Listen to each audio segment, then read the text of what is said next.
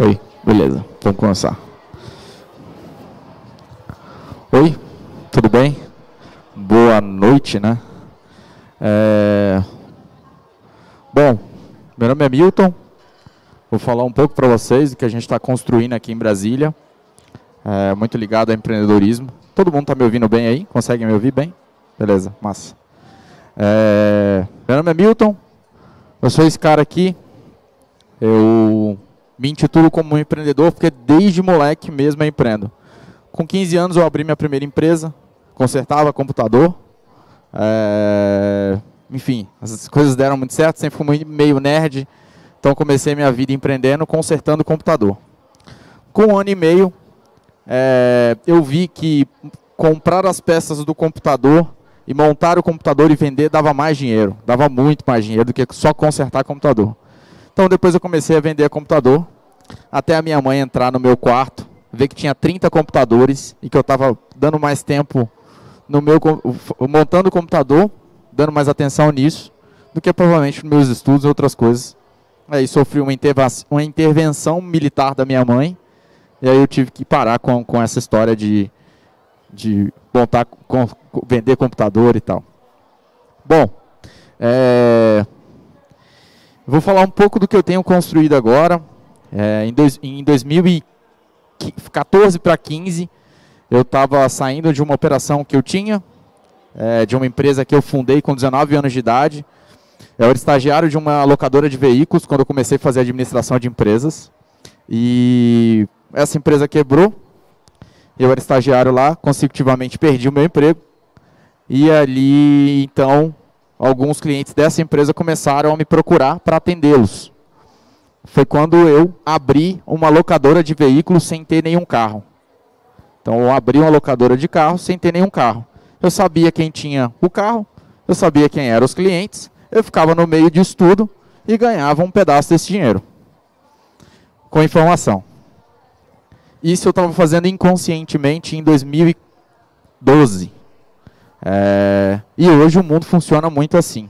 Uber não tem nenhum carro, Airbnb não tem nenhum apartamento e diversas outras empresas dessa nova economia. É assim que as coisas estão é, se dando.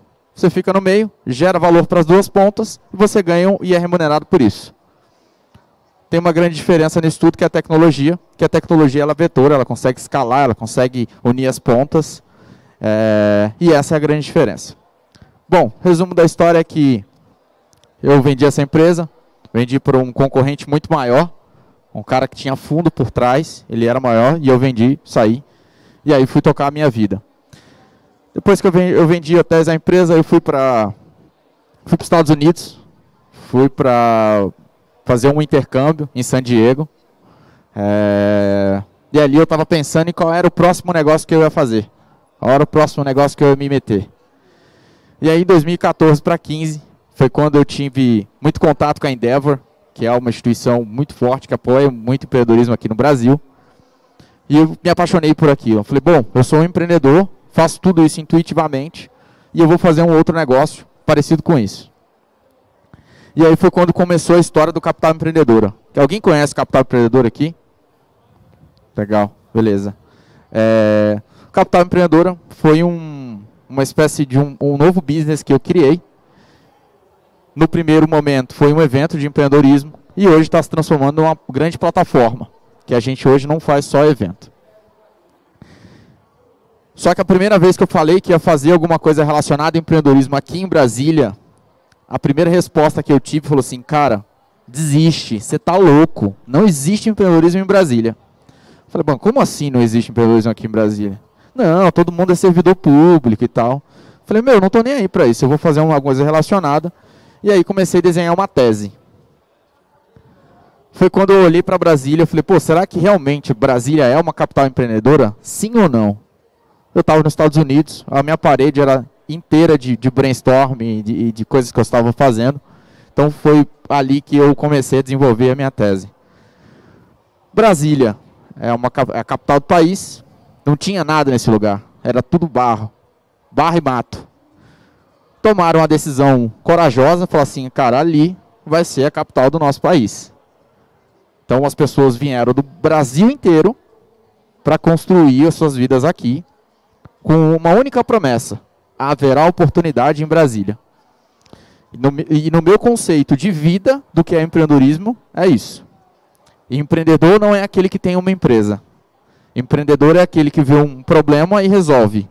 Se você está aí, você viu um, um, lixo no chão, pegou o lixo, colocou na lixeira, você é um empreendedor. O empreendedor é aquele que está muito mais ligado com a vida, a visão de mundo, do que propriamente com o CNPJ. Ter uma empresa faz parte desse contexto todo. E aí eu comecei a desenvolver a minha tese de Brasília como uma capital mais empreendedora, e a gente tem um case legal para contar para vocês. Primeira coisa que me chamou a atenção, Brasília, a, tudo acontece primeiro aqui, para depois ir para o Brasil. Então, todas as decisões do nosso, do nosso país são tomadas em Brasília. Então, isso mostra qual a grande relevância que a gente tem perante todo o Estado, o Brasil inteiro. Então, primeiro acontece em Brasília, as decisões são tomadas aqui, principalmente por conta do âmbito político, depois vai para o Brasil. Isso aqui foi uma coisa que chamou muita atenção. É, isso me ensinou, na verdade, a estar no presente, mas olhar para o futuro para entender o que, que vai acontecer. É, as transformações que o mundo está passando, elas são muito rápidas, principalmente por conta de tecnologia. Então, o que funciona hoje pode ser que daqui três semanas não funciona mais. Você pega aí as grandes empresas de tecnologia, pouca, pouquíssimas delas têm mais que 10 anos. Netflix, Spotify, então são empresas que crescem muito rápido. Então uma coisa muda. Em 2015 a gente estava terminando um, um, um, o nosso governo Agnello. Ia começar uma transição de um novo governo. É, e eu fiz uma leitura de que o Estado está quebrado, ele é muito pesado e não tem mais capacidade para absorver todas essas pessoas estudando para concurso público, porque tudo girava em torno do concurso público. Então eu falei, bom, automaticamente, se eu criar um produto relacionado ao empreendedorismo, o que, que vai acontecer para os próximos três anos? Então eu tomei a minha decisão, construí a minha tese, olhando para o futuro. Falei, bom, se o Estado está quebrado, o Estado não tem dinheiro para pagar e abrir mais vagas para concurso. Automaticamente, ou as pessoas vão para a vida privada, ou elas vão para a vida do empreendedor, vai empreender. Então, isso foi uma leitura que eu fiz, que, que deu certo, que deu muito certo, isso prova. Nessa época ainda não tinha Campus Party, não tinha outros eventos, não tinha aceleradora de startups, não tinha fundo de investimento, não tinha nada disso. Então, era, literalmente, quando eu cheguei, era tudo mato. Era só tinha uma visão e uma tese. Quando a gente fala de, de uma nova capital, é, desse período de 2015 em diante, a gente fala de um momento novo. Que aí a gente começa a pensar que o Estado já, ele já começa a dar indícios de que ele não vai conseguir suportar essa quantidade toda de gente estudando para concurso público, e a gente precisa de fato de uma nova economia. E aí começam a, a grandes coisas a acontecerem em Brasília, de, diretamente ligado ao empreendedorismo. É, na praia, é, outras produtoras, você tem alguns cases de startups que foram que tiveram grandes investimentos, você tem cases de startups que foram vendidas, Dali em diante, a gente começa a ter alguns outros cases de empreendedores é, mais atuais. Se você olhar para trás, você ainda tem aí Brasal, Sabin. Todas essas foram grandes empresas que cresceram a partir de uma visão em Brasília, mas que era, elas são de uma velha economia. De uma nova economia, a gente fala de 2015 para cá que é quando a gente começa a ver muito forte essa questão da tecnologia perante na sociedade. Então hoje a gente começa a enxergar Brasília de uma forma diferente, de 2015 para cá. Essa aqui foi a tese que eu criei. Então, se vocês conseguirem ver aqui, ó, a gente tem a maior renda per capita do Brasil. Todas as decisões são tomadas aqui. Você tem quatro fundos de investimento, com capacidade de juntar os quatro, você tem 100 bilhões de investimento. Então, assim, tem muito dinheiro disponível para as empresas daqui de Brasília. Esses são fundos que olham para o Brasil, mas olham principalmente para a nossa região de Brasília e Centro-Oeste. É, você tem o maior índice de doutores por metro quadrado. Então, você tem gente capacitada para tocar um negócio, para gente capaz, gente competente para fazer as coisas, que na maioria dos casos ou estava fazendo concurso e por algum motivo ia lá fazer alguma coisa, nada contra quem faz concurso, mas é um cara talentoso para carimbar papel, na maioria dos casos. Eu tenho vários amigos nesse, nesse quesito. É, você tem o maior aeroporto e, e geograficamente a gente está literalmente no centro do Brasil. Então, distribuir e, e, ter acesso aos lugares do Brasil é uma coisa muito fácil. Você tem um PIB de 79 bi. 79, é isso mesmo? De, que não é dólares, é reais, eu coloquei errado ali. E o terceiro maior mercado do Brasil. E você tem só em no Distrito Federal 77 mil empresas. Isso me chamou muita atenção. Assim. Isso é um dado do Sebrae. Falei, bom, peraí. Então, no mínimo, eu tenho 77 mil empresários que precisam aprender sobre vendas, que precisam aprender sobre gestão, que precisam aprender como vão pensar o futuro do negócio, que precisa de planejamento, enfim, um, um bando de coisa que está diretamente ligado ao empreendedorismo. Então, essa aqui foi a minha tese. Eu olhei para isso, contato, falei assim, cara, eu posso estar tá muito doido, mas tem sim. Tem gente interessada, é, a fim de querer ou empreender ou de querer melhorar os seus negócios. Vamos lá. E aí foi quando é, nasce a história do Capital Empreendedora. Eu não sabia o que ia fazer. Historicamente, é, o meu background é de um cara que é, foi administrador de empresa, que sempre empreendeu. É, mas a primeira coisa que veio na minha cabeça, eu falei assim, cara, eu preciso fazer um evento para validar essa hipótese aqui, para ver se as pessoas de fato têm interesse. Então, é natural criar um evento para isso. Foi quando eu criei o Capital Empreendedora, eu e, e, na, minha, na época o meu sócio, o Lucas, que deve estar por aí, é, com esse objetivo. Eu vou validar a minha hipótese com o mínimo viável possível. Literalmente, num conceito de startup. Eu vou construir o mínimo possível só para validar a minha tese quando eu validar a minha tese, eu sigo com esse plano adiante. Criei a história do capital empreendedor em 2016. Eu estava nos Estados Unidos em 2015, final de 2015, concluí o meu intercâmbio, voltei para o Brasil, assinei os primeiros contratos do capital empreendedor lá, para trazer é, empreendedorismo para nossa cidade. E nasce com esse conceito aqui de conteúdo, conexão e experiência. É, como eu não sou desse mercado, como eu não era desse mercado, falei, bom, eu vou fazer de acordo com o que eu acho que é certo, validando as premissas que eu, consumidor de evento, gostaria. Então, o que é importante para um evento? Ter conteúdo, conteúdo muito bom, conteúdo relevante que seja transformador e que valorize o tempo das pessoas. Então, um, dos conceitos que a gente usa dentro do nosso evento é, é o melhor conteúdo pelo menor tempo possível em respeito ao tempo de quem está pagando e indo lá. Porque na nossa cabeça foi construída uma, uma lógica completamente errada. É, curso bom é aquele que tem 60 mil horas. Não é assim? Então, o que a gente faz é completamente ao contrário. Eu te entrego o melhor conteúdo pelo menor tempo possível, em respeito ao seu tempo. Conexão. É, se a gente pegar todo o conteúdo que está aqui, todo, literalmente todo, você acha ou algo muito parecido ou igual dessa mesma pessoa na internet. Então, todo o conteúdo está na internet. Então, faz muito sentido você ir para um evento para você se conectar com outras pessoas. Literalmente, você pode estar ao lado do seu sócio e você não sabe. E um evento como esse, com tantas pessoas que, em tese, pensam da mesma forma, é, pode ser que isso, isso aconteça. Eu tava, uma vez eu estava conversando com o Murilo Gun e ele falou uma coisa muito legal, que eu trago isso para muito conceito de evento.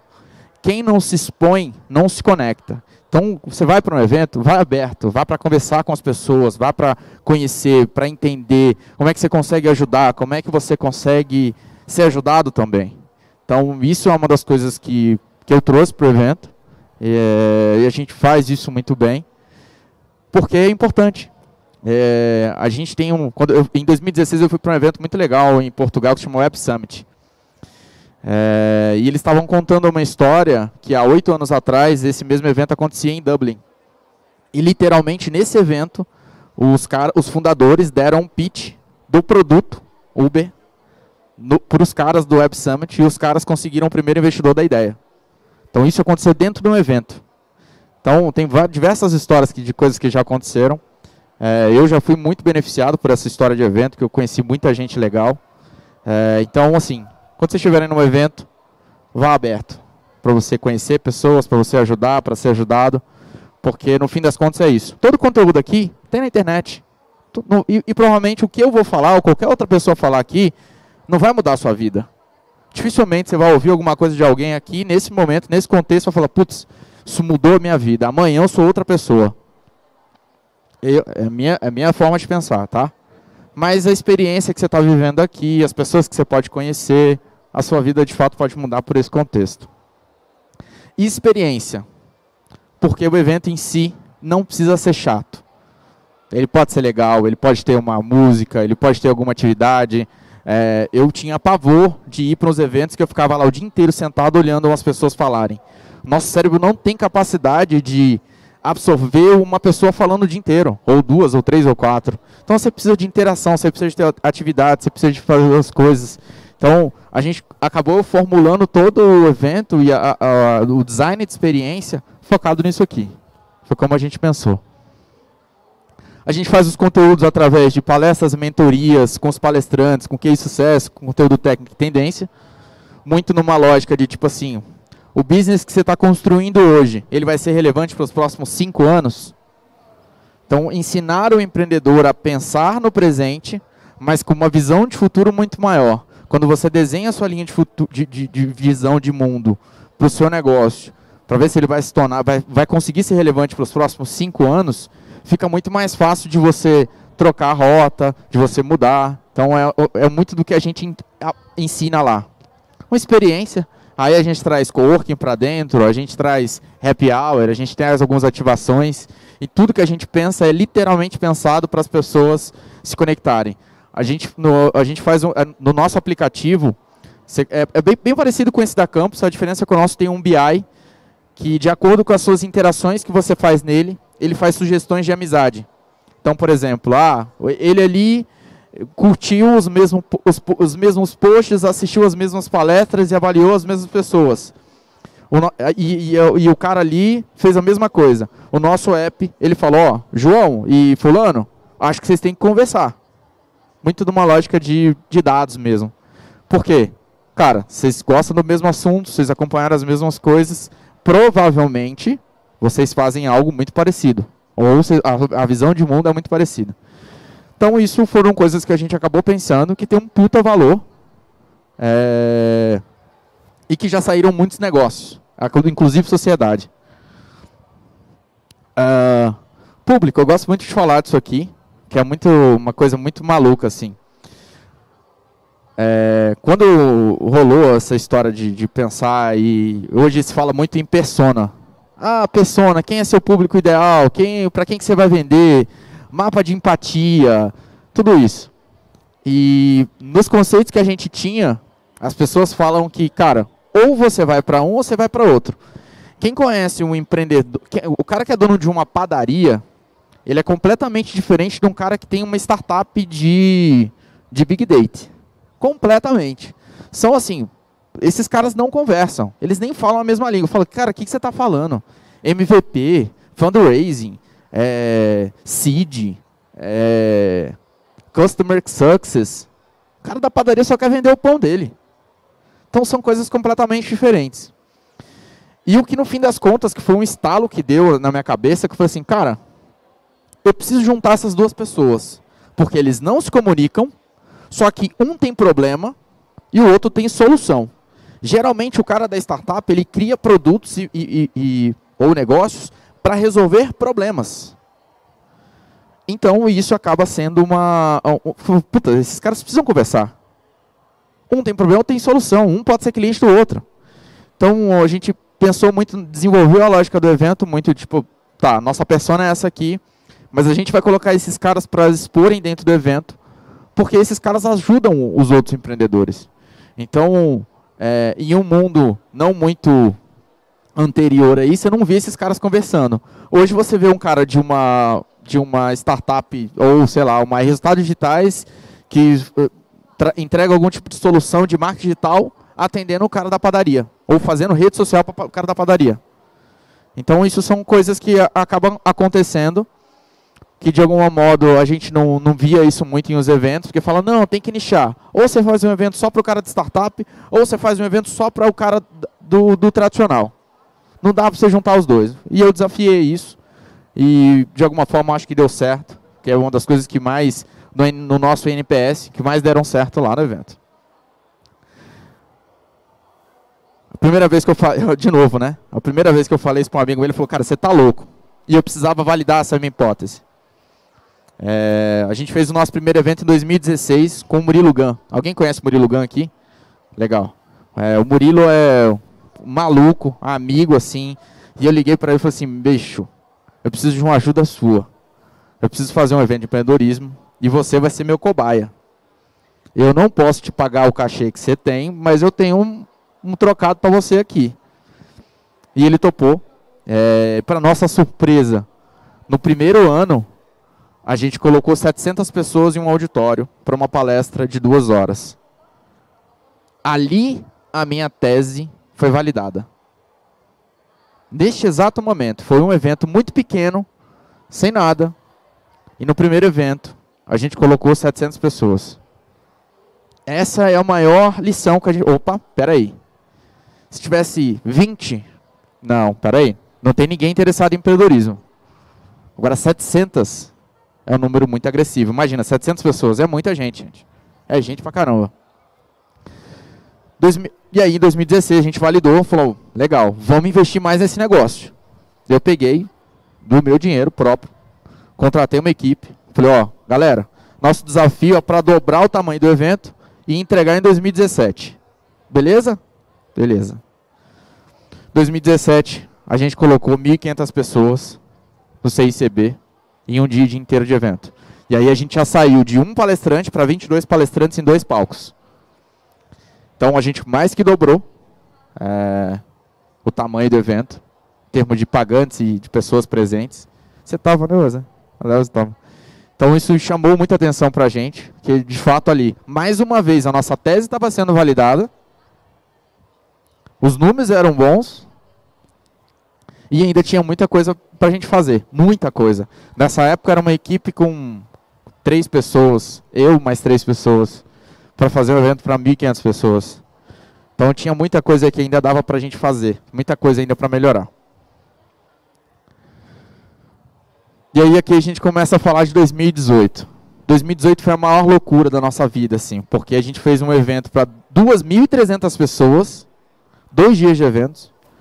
É, eu coloquei. Eu, é, mais de 50 palestrantes. Uma loucura, assim. Uma coisa. Eu achei que ia morrer. Eu falei, cara, não é pra mim esse negócio, não. É coisa de maluco. Porque a gente cresceu muito. E crescer muito rápido dói muito. É, é, é um ritmo muito acelerado, é, é muita coisa. É, e a gente sempre prezou por excelência, querer fazer um negócio bem feito e tal. Então doeu muito, doeu demais assim crescer esse, esse, esse, ir para esse número de 2.300 pessoas. Mas mais uma vez, mostrou que tinham mais pessoas interessadas pelo produto, tinham mais pessoas querendo saber sobre empreendedorismo, e grande parte dessas pessoas ainda nem empreendiam. Então, eram pessoas que estavam querendo construir algum tipo de negócio. 2019, é, eu tomei uma decisão como líder, falei, gente, esse não é um ano de crescimento, eu não quero crescer, doeu muito, a gente precisa organizar a casa, é, para dar os nossos próximos passos. E aí a gente fez a nossa entrega do ano passado, de, desse ano. Foi um evento não, não menor em tamanho, mas a gente teve menos pessoas, mas foi uma coisa orgânica. A gente não gastou muito dinheiro em mídia, a gente não estava falando com muitas pessoas, é, mas em compensação foi o primeiro evento que trouxe liquidez. Eu precisava de liquidez. Depois de três anos só investindo, Falei, gente, agora eu vou trazer liquidez. A gente vai trazer dinheiro para dentro do caixa da empresa. Uma coisa é você faturar, outra coisa é você colocar dinheiro no bolso. São coisas completamente diferentes. Para você crescer um business, você precisa injetar dinheiro. Por isso que a gente cresceu tanto aqui. Para você ter liquidez, você precisa ter mais pé no chão, trabalhar de uma forma mais lean e orgânica ali a gente teve. Ali a gente teve. A gente teve liquidez. E aí a gente estava passando por um momento também muito de. É, isso é recente. Nós acabamos de ser comprado barra investido. É, era uma dor muito grande para a gente produzir o evento. Gente, vocês não fazem ideia o, o, o tamanho da encrenca que é fazer um negócio desse aqui. É muito difícil. É muita dor de cabeça. Você imagina, cuidar de 50 palestrantes, quatro palcos, passagem para todo mundo, carro para todo mundo, local, stand de todos os patrocinadores. É, então é um negócio muito difícil. Aqui tem um videozinho. Deixa eu ver se vai rolar. Aí, rolou. Esse foi o vídeo do FT Move do ano passado. Desse, desse ano agora, desculpa.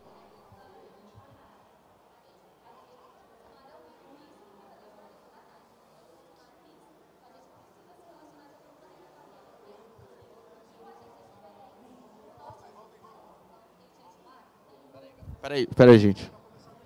É. Aí. Foi?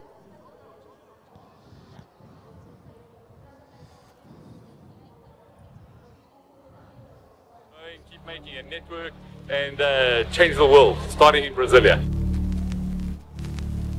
É um videozinho curtinho, de uns dois minutinhos.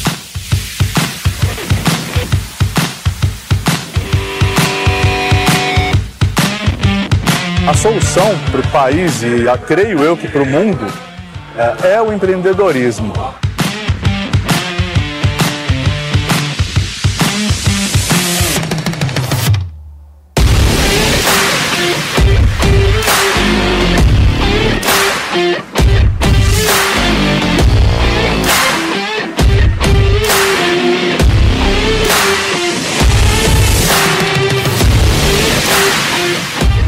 Today's event has been really good, some great speakers, learned a lot, uh, smiled and laughed a lot, and made new friends, so it's all you need to do.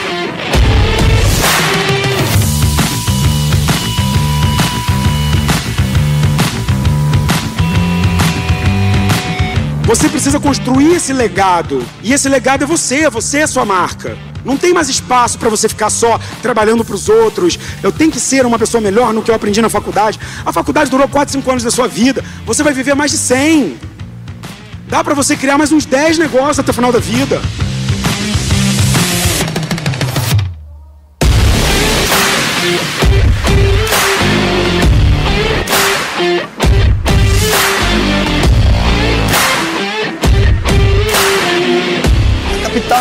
Empreendedora vai falar de empreendedorismo. E o que a gente está vendo aqui é um público ávido por consumir conteúdo, é, formação, mentoria, conhecimento e capital de empreendedores.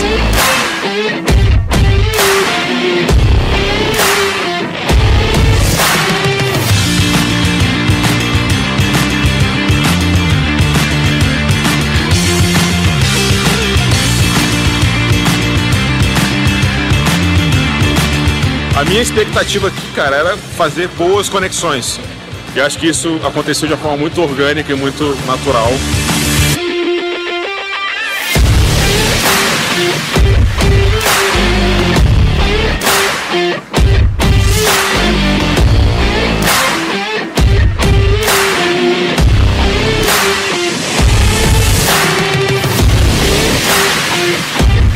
A iniciativa do Capital Empreendedora é super importante para ajudar a desenvolver o ecossistema empreendedor aqui de Brasília. Então, parabéns pela iniciativa.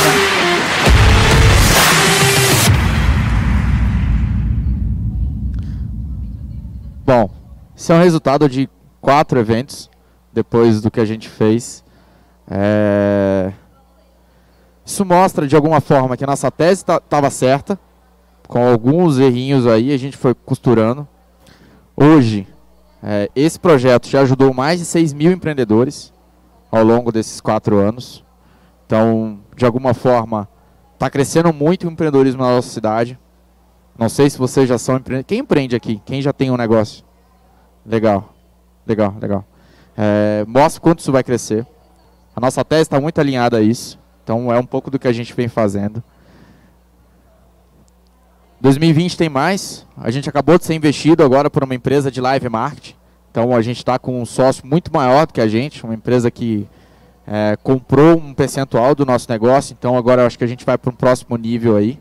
É, não estou aqui para falar um pouco disso, eu acho que a, a principal mensagem é que eu fui contra uma maré, eu fui contra o que as pessoas estavam falando, muito fundamentada na minha tese e que foi construída com outras pessoas também, e está dando certo. É, acabamos de ser investido, tem muita coisa para fazer. Eu acho que os nossos próximos passos é nos tornarmos uma plataforma de empreendedorismo. Então é um pouco do que a gente está fazendo. E eu acho que a, a, minha principal mensagem é aqui, assim, cara, se vocês têm um produto, um serviço, um sonho, se vocês de fato querem fazer isso, dependem só de vocês. Só, exclusivamente de vocês. Não é culpa do governo, não é culpa da política, não é culpa da crise vocês são responsáveis por absolutamente tudo que acontece na vida de vocês. Até quando está fora do seu alcance, a responsabilidade única de vocês. E ninguém tá nem aí para vocês. Ah, meu, ninguém tá nem aí.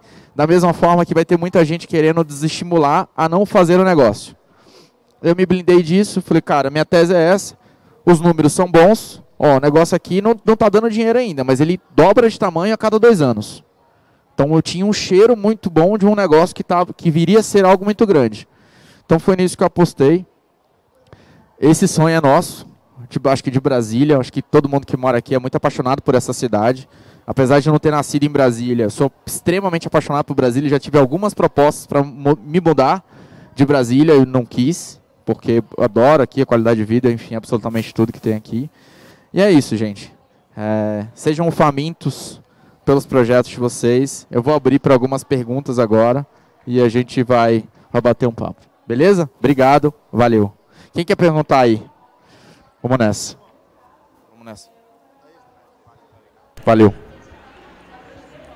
Bem, eu sou Edmar, eu participo de uma, de uma associação dos carregadores do SEASA e há quatro anos atrás me deparei com um problema de é, de discriminação, preconceito é, é, o preconceito da, das próprias pessoas do governo e muita coisa errada na política e, e, e, vi também muitas pessoas desmotivadas na sociedade. Então comecei a tentar empreender, de, empreender resolvendo o problema das pessoas e também tentando resolver o problema do governo.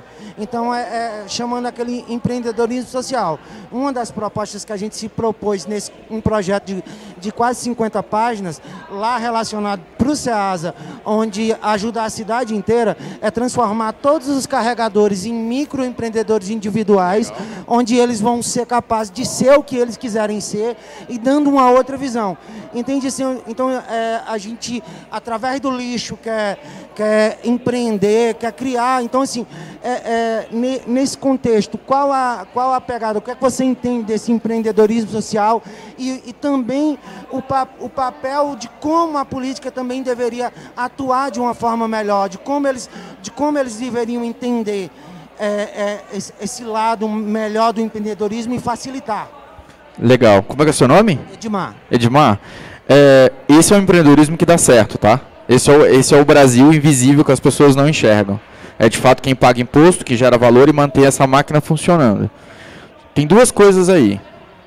É, você transformar essas pessoas em microempreendedores individuais, eu acho que é, um, é excelente por conta de que você regulariza, o cara está contribuindo, vai ter uma aposentadoria e essa é uma parte. É, eu não sei se de fato vai ser são todos carregadores e o que de fato eles vão fazer, mas você precisa profissionalizar essa cadeia. E esse, ao meu ver, tá? pode ser uma coisa errada ou um, pre ou um preconceito meu mesmo. É, não tem assim, um, nível de instrução muito alto. Então acaba que às vezes não tem instrução, faz as coisas de qualquer jeito. Então profissionalizar isso é uma coisa muito difícil. Mas eu acho que esse é um papel bom. Quando você consegue profissionalizar, aí você começa a gerar valor para o cara que está do outro lado, para o cara que é o contratante. E eu acho que é a partir disso que você começa a gerar riqueza. O Estado, é, ele deveria estar aí para nos ajudar. Não é muito o que acontece. Então eu prefiro me preocupar, óbvio, você tem que fazer o seu papel, ou outros líderes fazerem um papel de tipo, de ir lá cobrar, de estar sentado, de reivindicar, porque eu acho que esse é o dever de todos nós. Eu acho que esse é um, é um papel que a gente precisa fazer. E a gente começou a se preocupar isso, com isso muito tarde. Tá, da farra que os caras faziam aí. É, tem que ter. Só que assim, na minha visão, eu tento me preocupar com aquilo que eu consigo mudar. Com as coisas que estão de, é, é de uma outras pessoas, eu não tenho muito controle. Então, assim, começa a focar naquilo que você consegue com a sua equipe mudar. Aquilo que você consegue melhorar, aquilo que você consegue prover para eles. É, porque o Estado, infelizmente, ele não vai ser uma incógnita. Ele sempre vai ser uma incógnita. Você não sabe se vai ajudar ou se não. Você não pode contar com isso. É, mas óbvio que você tem que fazer a sua força e, e reivindicar tudo isso porque é dever. Mas não é porque é dever, é que a gente pode esperar. Então essa é uma coisa muito delicada. Eu iria por esse caminho, tá? A gente pode até bater um papo sobre isso daqui a pouquinho e a gente pode falar mais. Mais alguém, gente?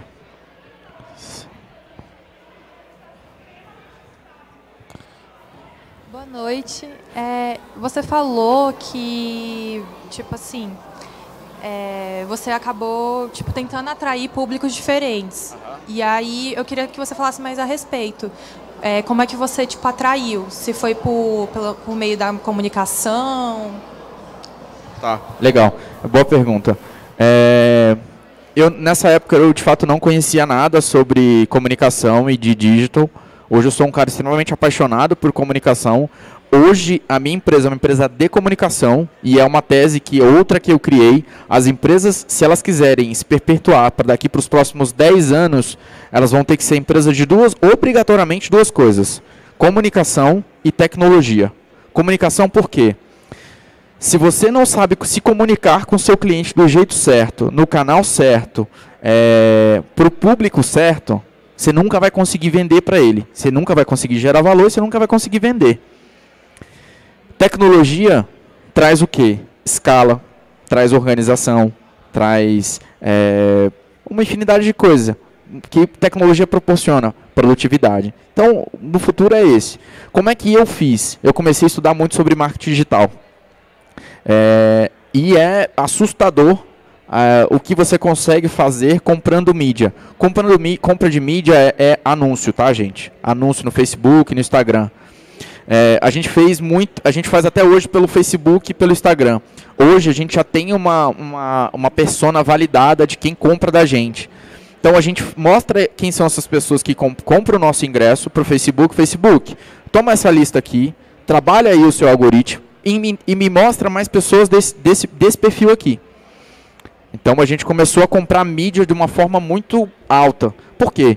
É, a gente, para cada um real que a gente investia em mídia, voltava cinco. Então, assim, não sei se, todas, se, as, se as pessoas aqui se já compram mídia, se já faz anúncio. Mas anúncio é uma coisa muito boa, porque é o seguinte: é, quando você anuncia numa Globo, você não sabe é, com quem você está falando. É um tiro de canhão. Você não fez um anúncio lá na Globo, um comercial na Globo, você vai falar com 300 mil pessoas no dia. Tá? É uma média. Quando você vai para um Facebook da vida, é, literalmente ele te entrega relatório de tudo. E tudo aquilo que você consegue medir, você consegue melhorar.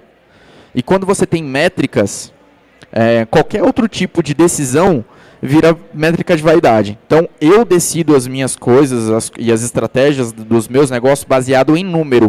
O que, que o número está mostrando para gente? E o número exato só as mídias digitais conseguem entregar. Então eu hoje tanto não é à toa que consecutivamente o número de pessoas que investem na internet é maior do que investem em mídias offline. Aí quando eu falo mídias, off, mídias offline é TV, rádio, é, outdoor, porque você não consegue medir. Então se você não consegue medir, você não consegue melhorar. Então estrategicamente a gente faz muito alinhado ao dígito. Beleza? Mais alguém, gente? Perguntas? Bom, eu vou estar por aqui. Se alguém quiser bater mais um papo comigo, é... tá aqui o meu, o meu Instagram. Ixi, voltou. É... Vou estar aqui. Se quiserem bater um papo comigo, vai ser um prazer. Muito obrigado pela atenção de vocês. Valeu.